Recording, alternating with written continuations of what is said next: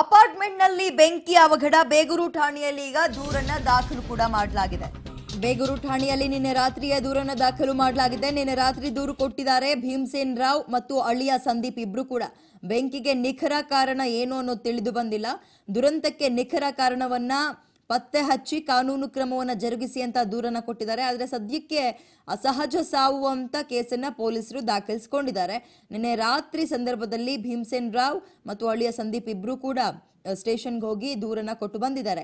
ಆದರೆ ಈ ಒಂದು ಇಂಥ ದೊಡ್ಡ ಬೆಂಕಿ ದುರಂತಕ್ಕೆ ಏನು ನಿಖರವಾದ ಕಾರಣ ಅನ್ನುವಂಥದ್ದು ಇನ್ನೂ ಕೂಡ ತಿಳಿದು ಬಂದಿಲ್ಲ. ಹಾಗಾಗಿ ಇದನ್ನ ಅಸಹಜ ಸಾವು ಅಂತಷ್ಟೇ ಕೇಸನ್ನ ದಾಖಲು ಮಾಡ್ಕೊಂಡಿದ್ದಾರೆ ಪೊಲೀಸರು.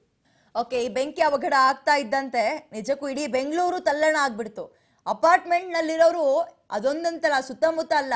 ಎಲ್ಲಿ ದೇವ್ರ ಚಿಕ್ಕನಾಯಕನಹಳ್ಳಿಯಲ್ಲಿ ಸುತ್ತಮುತ್ತ ಇರುವ ಅಪಾರ್ಟ್ಮೆಂಟ್ ಅಲ್ಲ. ಉಳಿದಂತಹ ಅಪಾ, ಬೆಂಗಳೂರಿನಲ್ಲಿ ಒಟ್ಟು ಅಪಾರ್ಟ್ಮೆಂಟ್ ಅಲ್ಲಿ ಅಂತ ಏನ್ ಉಳ್ಕೊಂಡಿದ್ದಾರೆ. ಎಲ್ಲರೂ ಒಂದು ರೀತಿ ಜೀವವನ್ನ ಬಿಗಿ ಹಿಡ್ಕೊಂಡ್ಬಿಟ್ಟಿದ್ರು. ಹಿಂಗಾಗ್ಬಿಟ್ರೆ ಹೆಂಗಪ್ಪ ಅಂತ.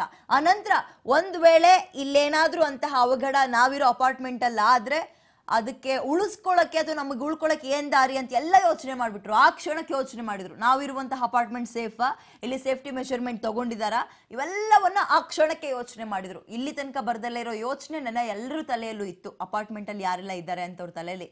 ಈ ಬೆಂಕಿ ದುರಂತ ಆಗ್ತಾ ಇದ್ದಂತ ನಿಜಕ್ಕೂ ಯಾರಿಗೆ ನೋಡಲಿ? ಕಣ್ಣೆದ್ರಿಗ ಪಾಪ ಅವರು ವೃದ್ಧೆ ಎಂಬತ್ತೆರಡು ವರ್ಷ ಬೇಡ್ಕೋತಿದ್ದಾರೆ, ಕೂಗ್ತಾ ಇದ್ದಾರೆ, ಕಿರ್ಚ್ತಾ ಇದ್ದಾರೆ. ಆ- ಬೆಂಕಿಯ ಕಾವುಗೆ ಅರ್ಚ್ತಾ ಇದ್ದಾರೆ. ಬರ್ತಾ ಬರ್ತಾ ಬೆಂಕಿ ಕಾವಿದ್ದು ಕಂಪ್ಲೀಟ್ ಆಗಿ ಬೆಂಕಿನೇ ಅವ್ರನ್ನ ಆವರಿಸ್ಕೊಂಡು ತಿಂದ್ಬಿಡ್ತು.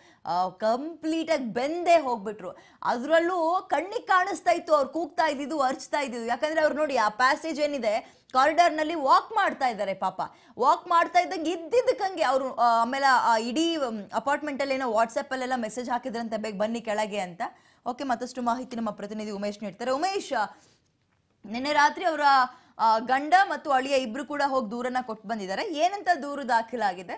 ಆ ವಿದ್ಯೆ ಈಗ ಮನೆ ಓನರ್ ಆಗಿರುವಂತ ಭೀಮ್ಸ್ ಏನಿದ್ದಾರೆ, ಅವರು ಈಗ ಸ್ಥಳೀಯ ಪೊಲೀಸ್ ಠಾಣೆಯಲ್ಲಿ ದೂರು ನೀಡಿರುವಂಥದ್ದು. ಪ್ರಮುಖವಾಗಿ ಅವರು ನಿನ್ನೆ ಅಷ್ಟೇ ಅಪಾರ್ಟ್ಮೆಂಟ್ಗೆ ಬಂದಿರು ಅಪಾರ್ಟ್ಮೆಂಟ್ ಬಂದ ನಂತರದಲ್ಲಿ ಅವ್ರಿಗೆ ಬೇರೊಂದು ಅಪಾರ್ಟ್ಮೆಂಟ್ ಪಕ್ಕದಲ್ಲೇ ಒಂದು ಅಪಾರ್ಟ್ಮೆಂಟ್ ಫ್ಲಾಟ್ ಇದ್ದ ಕಾರಣಕ್ಕಾಗಿ ಆ ಫ್ಲಾಟ್ ಅಲ್ಲಿ ಇದ್ವಿ. ಆ ಸಂದರ್ಭದಲ್ಲಿ ನಮ್ಮ ಪತ್ನಿ ನಮಗೆ ಕರೆ ಮಾಡಿದ್ರು. ಕರೆ ಮಾಡಿದ ನಂತರದಲ್ಲಿ ನಾನು ಸ್ಥಳಕ್ಕೆ ಬರೋಷ್ಟೊತ್ತಿಗೆ ಮನೆಯಲ್ಲೆಲ್ಲ ಸಂಪೂರ್ಣ ಬೆಂಕಿಯ ಕೆನಾಲಿಗೆ ಅಪ್ಕೊಂಡಿತ್ತು. ಆಗ ನಾನು ಬಾಗಿಲು ತೆಗೆಯುವಂಥ ಪ್ರಯತ್ನ ಮಾಡಿದ್ರು ಕೂಡ ಯಾವುದೇ ರೀತಿಯ ಸಹಾಯ ಆಗಲಿಲ್ಲ. ಅಂದ್ರೆ ಆ ಮಟ್ಟಕ್ಕೆ ಬೆಂಕಿ ಎಂಟ್ರೆನ್ಸ್ ಅಲ್ಲೇ ದೊಡ್ಡ ಮಟ್ಟದಲ್ಲಿ ಇದು ಬೆಂಕಿ ಇದ್ದಿದ್ದ ಕಾರಣಕ್ಕಾಗಿ ನಾವು ಒಳ ಹೋಗೋಕ್ಕಾಗಲಿಲ್ಲ. ಹಾಗಾಗಿ ಅಪಾರ್ಟ್ಮೆಂಟ್ ಯಾರು ನಿರ್ಮಾಣ ಮಾಡಿದ್ರು ಮತ್ತು ಯಾರು ಫ್ಲಾಟ್ ಮಾಲೀಕರು ಯಾರಿದ್ರು ಅಪಾರ್ಟ್ಮೆಂಟ್ನ ಮಾಲೀಕರು ಅವ್ರ ವಿರುದ್ಧ ಕ್ರಮ ಕೈಗೊಳ್ಳಿ ಅಥವಾ ಬಿ ಬಿ ಎಂ ಪಿ ಆ ನಿಯಮಗಳೇನಿದ್ದಾವೆ ನಿಯಮಗಳನ್ನೇನಾದ್ರೂ ಉಲ್ಲಂಘನೆ ಮಾಡಿದ್ದಾರೆ ಅನ್ನೋದ್ರ ಬಗ್ಗೆ ಕೂಡ ಈಗ ಆ, ಸೂಕ್ತ ತನಿಖೆ ನಡೆಸಿ ಯಾವ ಕಾರಣಕ್ಕಾಗಿ ಬೆಂಕಿ ಆಗಿದೆ ಅನ್ನೋದ್ರ ಬಗ್ಗೆ ಈಗಾಗಲೇ ಸ್ಥಳೀಯ ಪೊಲೀಸ್ ಠಾಣೆಯಲ್ಲಿ ಈಗ ಆತ ದೂರು ಕೊಟ್ಟಿರುವಂಥದ್ದು.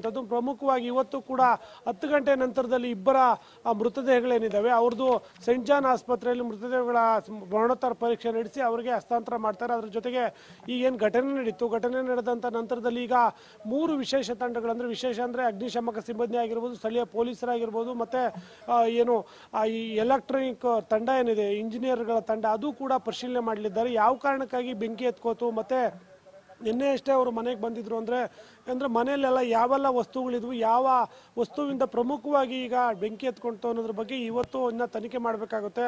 ಪ್ರಾರಂಭದಲ್ಲಿ ಸಿಲಿಂಡರ್ ಬ್ಲಾಸ್ಟ್ ಅಂತ ಹೇಳಲಾಗ್ತಿತ್ತು. ಅದಾದ ನಂತರದಲ್ಲಿ ಶಾರ್ಟ್ ಸರ್ಕ್ಯೂಟ್ ಆಗಿರ್ಬೋದು ಅಂತ ಕೂಡ ಹೇಳಲಾಗ್ತಿತ್ತು. ಆದ್ರೆ ಈಗ ಸದ್ಯಕ್ಕೆ ನಿನ್ನೆ ಪ್ರಾಥಮಿಕ ತನಿಖೆಯಲ್ಲಿ ಅವೆರಡೂ ಕೂಡ ಆಗಿಲ್ಲ ಅನ್ನೋದ್ರ ಬಗ್ಗೆ ಈಗ ಅಧಿಕಾರಿಗಳು ಮಾಹಿತಿ ನೀಡ್ತಾ ಇರುವಂಥದ್ದು. ಹಾಗಾಗಿ ಎರಡೂ ಘಟನೆಗಳು ಆಗಿಲ್ಲ ಅಂದ್ರೆ ಮತ್ತೆ ಯಾವ ಕಾರಣದಿಂದ ಈ ಬೆಂಕಿ ಎತ್ಕೋತು ಅನ್ನೋದ್ರ ಬಗ್ಗೆ ಈಗ ತನಿಖೆ ಆಗಬೇಕಾಗುತ್ತೆ. ಅದ್ರ ಜೊ, ಸಂಬಂಧಪಟ್ಟಾಗಿ ಇವತ್ತು ನಿನ್ನೆ ತಡರಾತ್ರಿ ಆಗಿರೋ ಕಾರಣಕ್ಕಾಗಿ ಇವತ್ತು ಬೆಳಗಿನ ಜಾವನ ಇವತ್ತು ಮನೆಯನ್ನೆಲ್ಲ ಸಂಪೂರ್ಣವಾಗಿ ಪರಿಶೀಲನೆ ಮಾಡ್ತಾರೆ. ಮನೆಯಲ್ಲಿ ಯಾವೆಲ್ಲ ಬೇರೆ ವಸ್ತುಗಳಿದ್ವು ಯಾವ ಕಾರಣಕ್ಕಾಗಿ ಬೆಂಕಿ ಎತ್ಕೋತು ಮತ್ತೆ ಎಲ್ಲಿಂದ ಅದು ಪ್ರಾರಂಭ ಆಯಿತು ಅನ್ನೋದ್ರ ಬಗ್ಗೆ ಕೂಡ ಇವತ್ತು ತಿಳಿಬೇಕಿದೆ ವಿದ್ಯಾ. ಓಕೆ ಧನ್ಯವಾದ. ಉಮೇಶ್ ತಮ್ಮ ಮಾಹಿತಿಗೆ.